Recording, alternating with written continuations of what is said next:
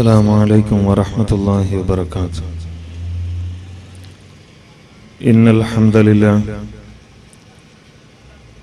نحمده ونستعينه ونؤمن به ونتوكل عليه.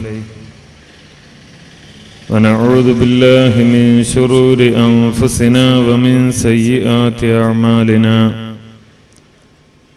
من يهده الله فلا مضل له ومن يضلل فلا هادي له. وأشهد أن لا إله إلا الله وحده لا شريك له. وأشهد أن محمدا عبده ورسوله. أرسله بالهدى ودين الحق. ليظهره على الدين كله ولو كره المشركون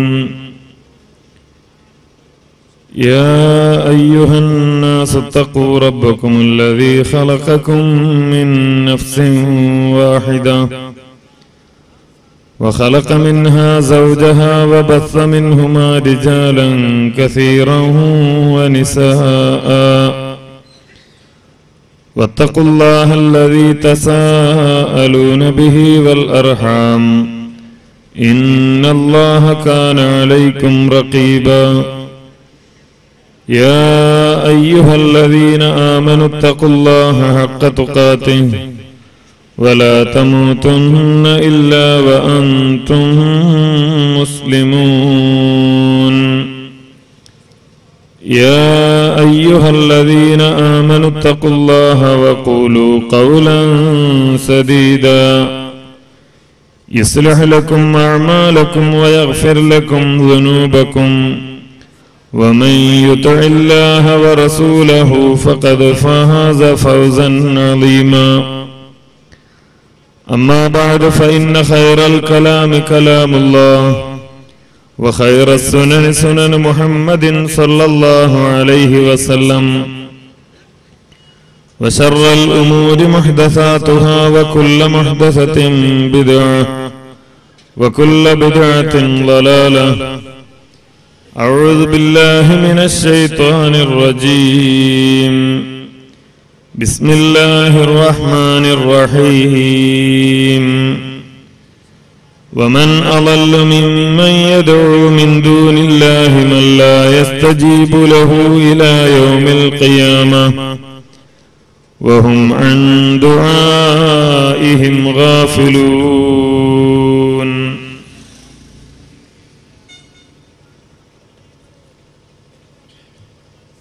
ബഹുമാനരായ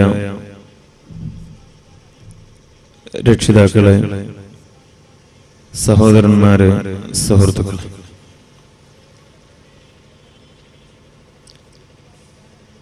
ഏതാണ്ട്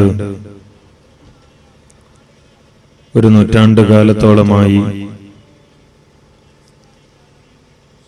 സംഘടിത രൂപത്തിൽ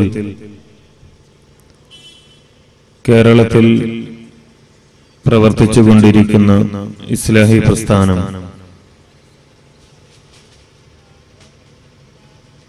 പൂർവികരായ സലഫ് സാലിഹുകളുടെ മാതൃക പിൻപറ്റിക്കൊണ്ട് വിശുദ്ധ ഖുർആാനിന്റെയും തിരുസുന്നത്തിന്റെയും യഥാർത്ഥ വെളിച്ചത്തിലേക്ക് കേരളത്തിലെ മുസ്ലിം സമൂഹത്തെ ക്ഷണിച്ചുകൊണ്ടിരിക്കുകയാണ്.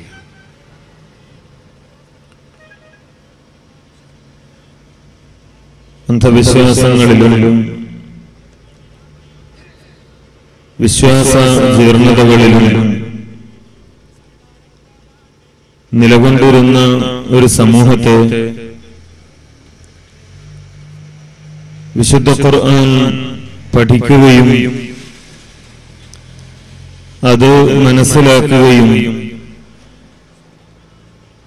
നബിസല്ലാഹു അലഹി വസല്ലമയുടെ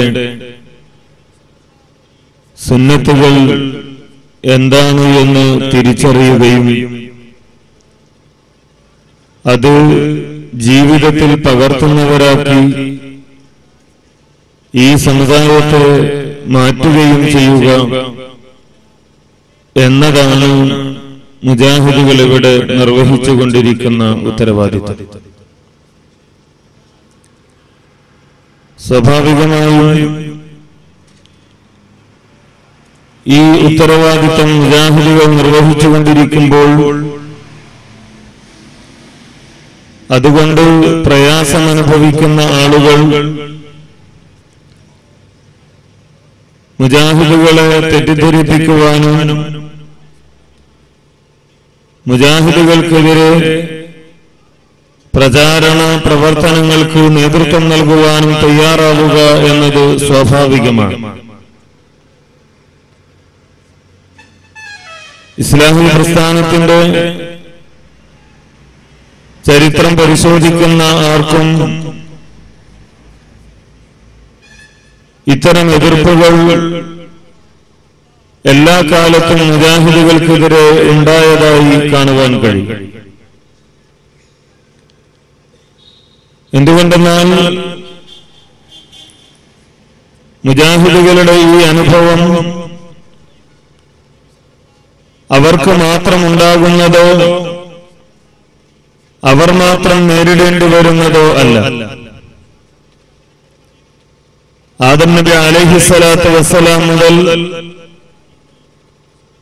മുഹമ്മദ് നബി സല്ലാഹു അലഹി വസല്ലം അവരെ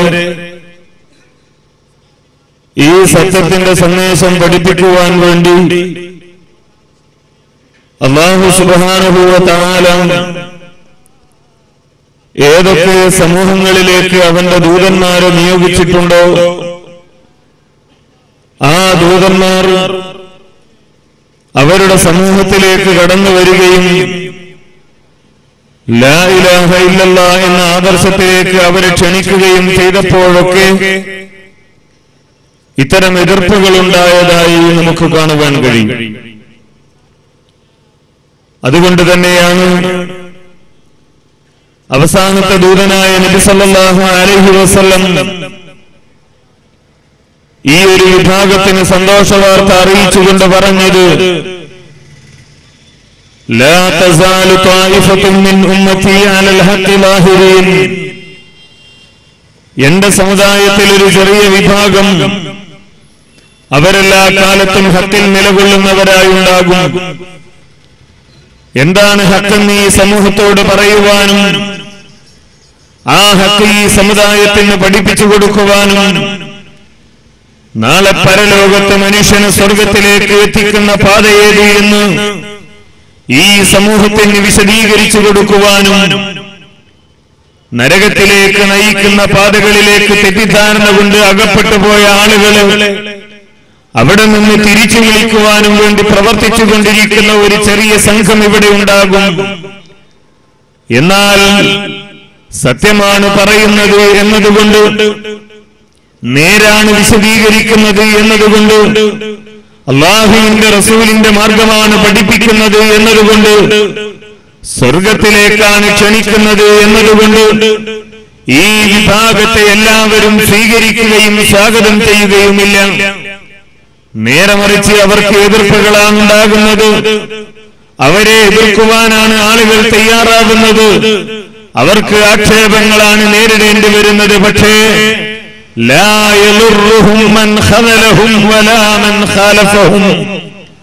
ആര് അവരെ എതിർത്താലും ആരൊക്കെ അവരെ ആക്ഷേപിച്ചാലും ഏതൊക്കെ തരത്തിലുള്ള പരിഹാസങ്ങൾ നേരിടേണ്ടി വന്നാലും എന്ന ആദർശം ഉയർത്തിപ്പിടിക്കുവാൻ അള്ളാഹുവിന്റെ കലിമത്ത് ഉന്നതമായ ആ കലിമത്ത് ഉയർത്തിപ്പിടിക്കുവാനും ആ മാർഗത്തിലേക്ക് ഈ സമൂഹത്തെ ക്ഷണിക്കുവാനും ആ മാർഗം ഈ ആളുകളോട് പറഞ്ഞു കൊടുക്കുവാനും അവർ തയ്യാറായിക്കൊണ്ട് എല്ലാ കാലവും നിലനിൽക്കുമെന്ന് നബി സല്ലല്ലാഹു അലൈഹി വസല്ലമ പഠിപ്പിക്കുകയുണ്ടായി. ആ ഉത്തരവാദിത്തമാണ് മുജാഹിദ് പ്രസ്ഥാനം ഇവിടെ നിർവഹിച്ചുകൊണ്ടിരിക്കുന്നത്. ഞാൻ പറഞ്ഞതുപോലെ ആക്ഷേപങ്ങളുണ്ട് തെറ്റിദ്ധരിപ്പിക്കലുകളുണ്ട്. ഏറ്റവും പ്രധാനമായ തെറ്റിദ്ധരിപ്പിക്കൽ എന്താണ്? മുജാഹിദുകൾ ആയിരത്തി തൊള്ളായിരത്തി ഇരുപതുകളിൽ രംഗത്ത് വന്ന ഒരു പുതിയ വിശ്വാസ സമൂഹമാണ്. അങ്ങനെ പുതിയ ചില ആശയങ്ങളുമായി പുതിയ ആദർശങ്ങളുമായി ഈ നാട്ടിലേക്ക് കടന്നു വന്നുകൊണ്ട് മുജാഹിദുകൾ ഭിന്നിപ്പുണ്ടാക്കുന്നു എന്ന ഈ ആരോപണം സാധാരണയായി ഉന്നയിക്കാറുള്ളത് ഒരു മുസ്ലിയാരുടെ നാവിലൂടെ തന്നെ നമുക്കൊന്ന് കേൾക്കാം. നിങ്ങൾ അതൊന്ന് ശ്രദ്ധിച്ചു നോക്കുക. അതിലായിരുന്നു പറഞ്ഞത് ഒന്ന് വരെയുള്ള മുസ്ലിമീങ്ങൾ ഐക്യമായിരുന്നു. അതല്ലേ ഞാൻ പറഞ്ഞത്? തൊള്ളായിരത്തി ഇരുപത്തി ഒന്ന് വരെയുള്ള മുസ്ലിമീങ്ങൾ ഐക്യമായിരുന്നു. ഈ രാജ്യത്തെ നക്കി തുടച്ചു കൊണ്ടുപോകാൻ വേണ്ടി വന്നത് ബ്രിട്ടീഷുകാർ ഈ രാജ്യത്തുള്ള ജനങ്ങളെ ഭിന്നിപ്പിക്കലേ ഇനി മാർഗമുള്ളൂ എന്ന് കണ്ടപ്പോഴല്ലേ ഇവിടെ ഇന്ത് മുസ്ലിം വർഗീയ കലാപങ്ങൾ ഉണ്ടാക്കിയത്? മുസ്ലിമീങ്ങളുടെ ഇടയിൽ തന്നെ അനൈക്യം ഉണ്ടാക്കിയത്?